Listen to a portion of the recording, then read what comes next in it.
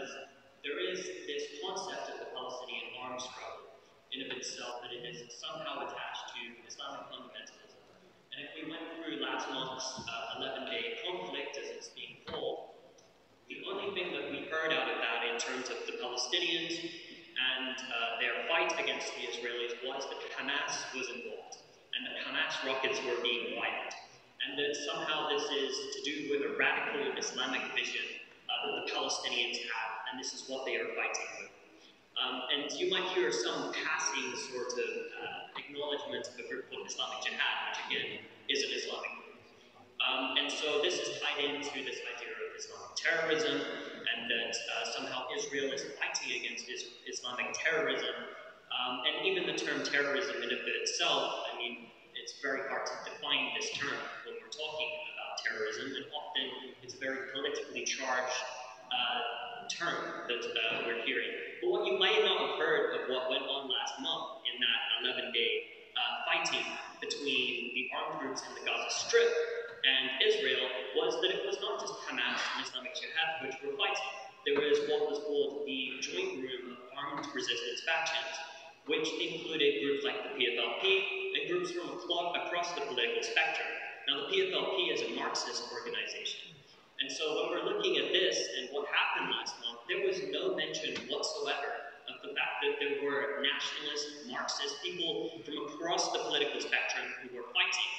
And this is a key point to note as they want to keep this, meaning the Western governments and media, out of the conversation completely.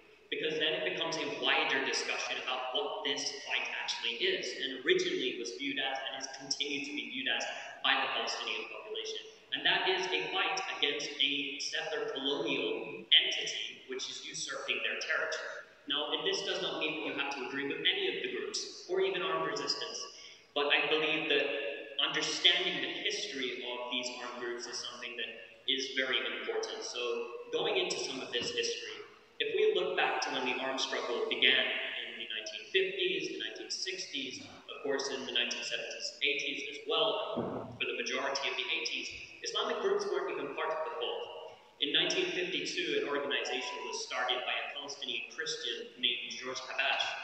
Um, he started the Arab uh, nationalist movement. This was one of the most prominent Palestinian resistance movements at the time.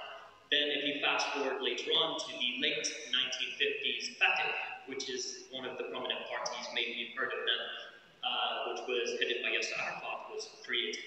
Both of these They had absolutely nothing to do with uh, Islamic fundamentalism, yet they were termed as terrorists. That's how they were presented. And this term terrorism that we're hearing used constantly to describe the Palestinians and their armed struggle was used throughout the history. And of course, back then, this was very much interlinked with what was going on during the Cold War. Now, these Palestinian organizations, in of themselves, were inspired at the time primarily by a man named Jamal Abdel Nasser, who was the president of Egypt. And the president of Egypt inspired this wave of Arab nationalism as the popular, uh, let's say, the popular movement to, uh, or anti-imperialist, anti-US uh, hegemony in the region and Israeli uh, occupation uh, inside of the region. But when we came to 1967, Israel attacked with Operation Focus, Egypt's Air Force and launched the June 1967 war, in which Israel occupied the West Bank, the Gaza Strip, East Jerusalem, the Sinai from Egypt, and then, as well on top of that, um, the Golan Heights of the Golan uh, from Syria. At this time, this was a defeat of Arab nationalism, and this is what really brought Israel closer with the United States as well. Because, of course, the Cold War was ongoing, Arab nationalism and its headman was defeated by Israel. And so that led to a sort of downfall eventually of these ideas of Arab nationalism as the popular movement struggle. And in that very same year, an organization was born known as the Popular Front for the Liberation of Palestine, PFLP, which was created by George Habash, again, uh, who was the founder of the, one of the founders of the Arab nationalist movement. This organization, like I said, was a Marxist movement. And alongside Fatah, which uh, uh, took over the PLO eventually, uh, Yasser Arafat became its leader.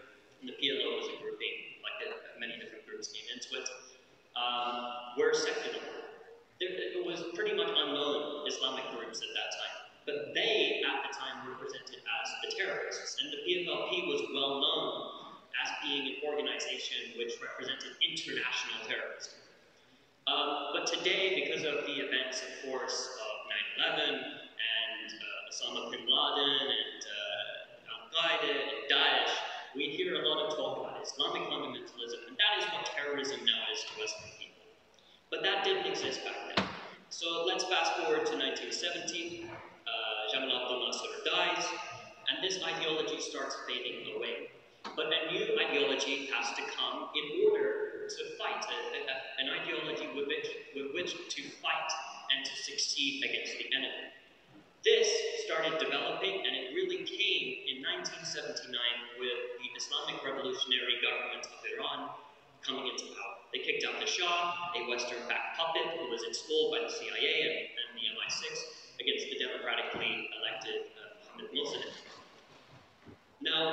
Now, we will see as well with the Palestinian armed groups at that time what happened is that in 1917 they were kicked out of Jordan by the Jordanian regime and there was really a massacre of Palestinians and members of their guerrilla groups. These guerrilla groups would use to launch attacks like rocket attacks uh, from neighboring countries and other incursions into Israel. Israel would do very much like it does in the Gaza Strip today, these uh, reprisal raids, as they were called, where they would massacre civilians on a scale which is not even comparable to what the guerrilla groups would do. Eventually, when they were pushed into Lebanon primarily, and they did operate somewhat in Syria, the Israelis focused all of their efforts there. In 1982, the Israelis entered into Lebanon and they expelled the Palestinian armed groups, the PLO, and of course all of the guerrilla groups, were forced to leave Lebanon. And when that happened, what we saw is that the armed resistance in of itself was to an extent defeated at the time. And at that time, again, I want to stress no Islamic organizations didn't exist. Now, when that happened, then we have to look, and we fast forward to 1987 now, and this is the Palestinian Intifada which erupted, which were the people of Palestine non-violently resisting the Israeli occupation. Later on, we have the Oslo Accords. In 1987, that's when Hamas was formed, the organization has. Hamas, at the start, didn't even have weapons, at the very, very start, in terms of its anti-Qassam brigades, being armed uh, group they didn't really uh, factor into it until the early 1990s. And when that occurred, that's when we saw this uh, Islamic uh, fundamentalism that's coming against Israel narrative uh, that was starting to be pushed. And now, of course, when we're looking at this as well, the Islamic Jihad organization, again, that was created in 1981, and of course, that was backed uh, by Iran.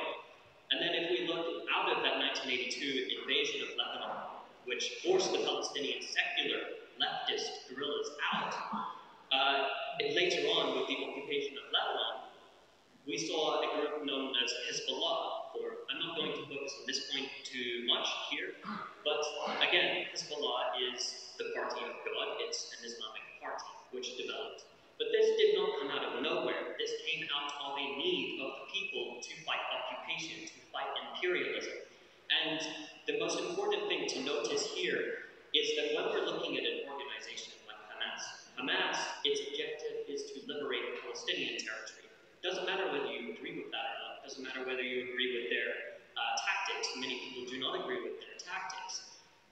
To present them as some sort of an type organization or Daesh is extremely misleading.